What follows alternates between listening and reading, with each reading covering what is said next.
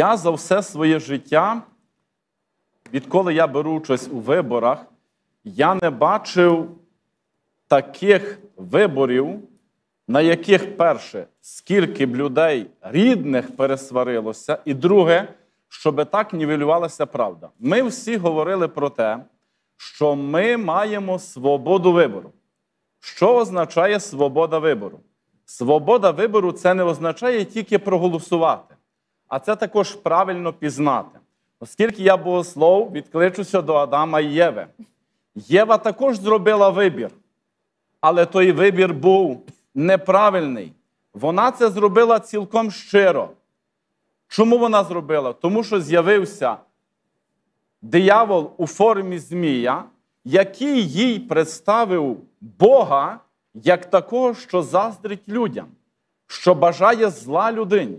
Так от, що найбільше я побачив тепер, що люди насправді не могли зробити правильний вибір, оскільки вони були здезорієнтовані, не знати, де правда, де кривда. Друге, ми вперше маємо вибори, в яких діє якийсь такий ефект віртуального світу, віртуального плоду.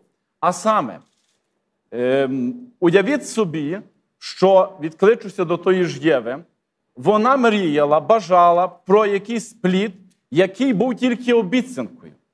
Не можна будувати життя на самих обіцянках. Пригадуєте, народна мудрість українська каже, що добрими намірами дорога до пекла встелена. Тому тут важливо на даний час звернути увагу не так, що я можу робити вибір, а подивитися, який я роблю вибір. І ще одне дозвольте. Вибір зробити це одне, але чого я найбільше побоююся? Що за той вибір треба відповідати. І от хто візьме відповідальність за той вибір? Кричати будуть всі. А відповідальність за те, як не дай Боже, ми дійсно і побоювання є, втратимо можливість самого вибору. Оця радикалізація суспільства саме наступила тому, що за новообраного президента, ще не проголошеного, почали позитивно висловлюватися ті люди, які підтримали агресію Росії в Україні, розпочали війну з Україною. Е, але е, на даний час, коли мова йде про церкву, я би хотів вам сказати таке: ми, може, тут багато людей думає, що між ієрархами йдуть якісь війни, тощо. Деколи можна побачити сюжети, що священники між собою б'ються. Ви знаєте, різних людей не бракує в рівно і в церковному середовищі. Але насправді і в церковному середовищі є розуміння, що нас Христос кличе всіх до єдності, і ми між собою провадимо діалог. Ми віримо, що церковна єдність всієї церкви наступить, але ми повинні робити кроки до того, об'єднувати. Я е, дуже скептично відношуся до того, що зміни настануть вже відразу і так, як ми хочемо. Так ніколи не стається. В житті є певні процеси, які ми повинні вичекати. Навіть народ повинен змінитися. Згодіться, що парламент це є віддзеркаленням народу. Які є тенденції в народі, такий є парламент. Але коли мова йде про парламент, з чого особисто боюся і що би хотів бачити? Політична, я вам дам такий приклад. Дивіться, Христова церква існує понад дві тисячі років. Були різні системи, які церкву переслідували, підтримували, то, що церква існує. Чому? Тому що в основі діяльності церкви є чіткий незмінний принцип любов до Бога і до ближнього. Коли мова йде про нас, українців, то я мушу сказати про нас як націю, що ми не дуже любимо закони. Мені пригадується один фільм польський, де, який розповідав про переселення лемків саме на північ Польщі. Так от там два сусіди, які сварилися на одній землі, потрапили на нову землю і також стали сусідами. Ну і вони, відповідно, подали один одного на суд за землю, і мати одного і другого відпроважає їх на суд. І мати одного дає в руки йому три гранати. І він каже: мамо, для чого? А мама йому каже: суд судом, а справедливість мусить бути на нашій стороні. Тому, відповідно, не можна силою здобувати певні речі. Я би хотів бачити в основі партії якусь ідеологію, але ідеологія базується на цінностях. Друге, ідеологію мусить мати також весь парламент. Я не боюся людей, які мають різні погляди на розвиток економіки, на розвиток політичного життя. Але я дуже боюся тих людей, які, прикриваючись іменем народного депутата України, підтримують агресора, який напав на наш народ, через який гинуть люди, і через який ми маємо ту війну, яка сталася. Згодіться, що був певний момент, коли силою певних політичних е, людей можна було речі зупинити. Тому мова мусить йти про цінності. А тепер, коли ми говоримо про цінності, цінності мусять базуватися на правді.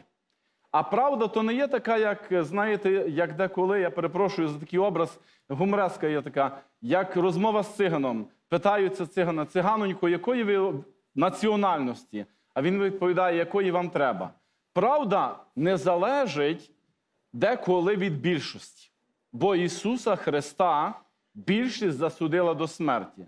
Але це не означає, що вона мала рацію. Коли ми говоримо про об'єднання, то дуже важливим України, дуже важливим є пам'ятати про кілька речей. По-перше, треба вміти слухати один одного. Я мав такий випадок, як священник. Між донькою і мамою постійні були конфлікти. Що я одній радив, що другій. Ну, не можна було нічого порадити, бо одна і друга була імпульсивна. Одного разу я попросив, щоб вони мене запросили на вечерю. І я посидів, хотів побачити, як вони діалогують. Так у чому була проблема? Одна ще не договорила, а друга Вони не репліку. чули одне одну. І потім, і знаєте, ну що порадити таким людям? То я порадив, щоб принаймні дослухали один одного. Друга є річ, це є дуже важлива. Це є мати, знаєте, е, мати треба дійсно спільні цілі. Коли ми будуємо нашу рідну хату, як казав митрополит Андрей Шептицький, то ми повинні розуміти, що ми повинні мати спільний фундамент. А далі будова може виглядати як хочемо, але вона мусить мати спільний фундамент.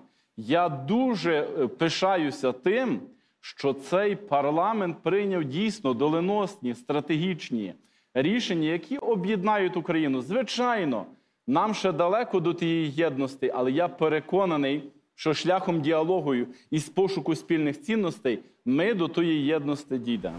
Я зрозумів протягом останніх місяців, що дуже багато людей, які висловлювали свою прихильність ідеалам Майдану, підтримували Революцію Гідності, не розуміють значення мови в житті людини. Хочу зацитувати слова відомої ведучої з одного провідних телеканалів, яка сказала, що мову на хліб не намастиш. Це означає, що людина, таких, напевно, є багато, абсолютно не розуміє значення мови, бо на хліб мову не маститься. Є люди, які, бач, які оцінюють все, що в світі є, тільки чи воно маститься на хліб, чи не маститься. Але є люди, які живуть вищими цінностями. Що ж робить якесь число людей одним народом? Передовсім мова. Всі, що по-українськи говорять або вважають українську мову рідну, будуть складати український народ. Тепер є у мене таке питання. Отож, як є мова, буде народ. Як є народ, буде держава. А отож, як не буде мови, не буде держави, і нам нема що, про що тут дискутувати. У мене є ще є інше. Тепер ще інше. От закладемо собі, що хтось каже, а давайте впровадимо двомовність. І в мене виникає питання, тобто російською і українською. Яка ціль впровадження двомовності? Якщо ціль об'єднати народ, то ми вже маємо випадок, а радше історію, що ми вже 30 років незалежності і говоримо і російською, і українською. Чи об'єднали мовне питання народ? Чи об'єднало двомовність народ? Не об'єднало. Я більш ніж переконаний в тому, що визнання двомовності, а це є сигнал червоний. Я тут погоджуюся, що нас зондують. Я також відчуття маю це. Е, значить, воно є таким, яким буде утвердженням російського імперіалізму. А це є, очевидно, наслідок чого? Ми не повинні дивуватися. Україна була століттями під ярмом. Але що цікаво, на Західній е, Україні були також різні, різні окупації, але ми зберегли українську мову. Натомість е, на східній Україні був терор.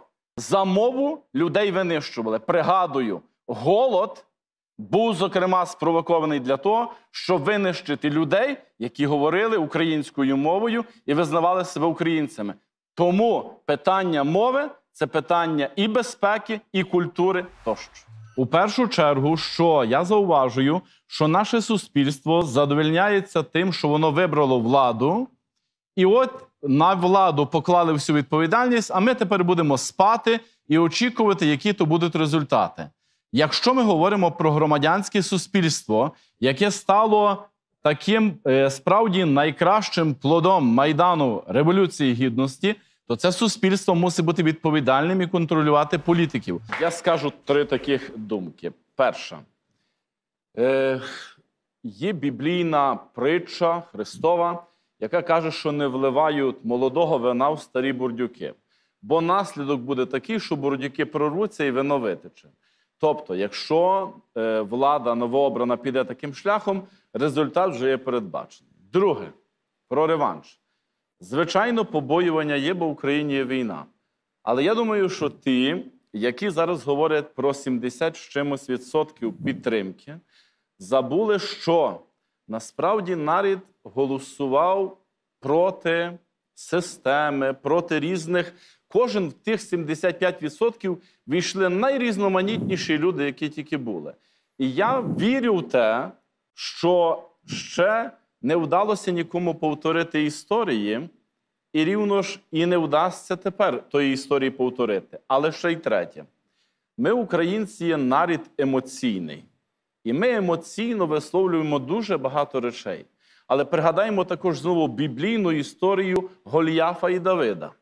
Один був велетним, проти якого не було зброї, а другий був малим, але мав мудрість.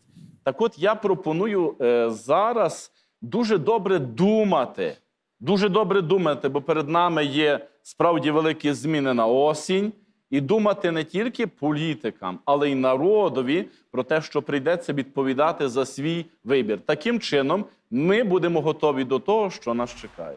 Я хочу всім тим віруючим тут присутнім сказати, що землю сотворив Бог, і це є істина. Але друга ж істина, треба святе письмо читати цілісно, що Бог сотворив землю для того, щоб людина нею господарювала. Відповідно, як людина землею не господарює, то вона грішить проти дару Божого, який вона має. Тепер перейдемо до наступного.